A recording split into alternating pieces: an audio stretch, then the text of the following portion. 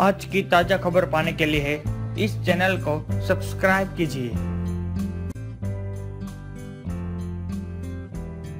बॉलीवुड के बाबू गया, यानी परेश रावल फ़िल्मों के साथ साथ पॉलिटिक्स में भी एक्टिव हैं। वहीं उनकी वाइफ स्वरूप संपत मिस इंडिया रह चुकी हैं।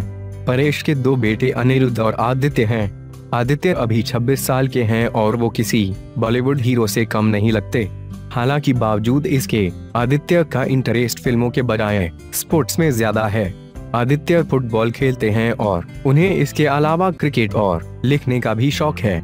आदित्य रावल, रविंद्रनाथ टैगोर और शेक्सपियर के फ़ैन हैं। वो इनसे प्रभावित हैं और इनके लिटरेचर को काफ़ी पसंद करते हैं। इसके अलावा आदित्य अमेरिका और इंडिया में डायरेक्टर्स के लिए स्क्रीन प्ले राइटर का काम भी करते हैं। आदित्य अपने प्ले टाइम क्रिएशंस के बैनर तले कुछ फ़िल्में भी बनाना चाहते हैं।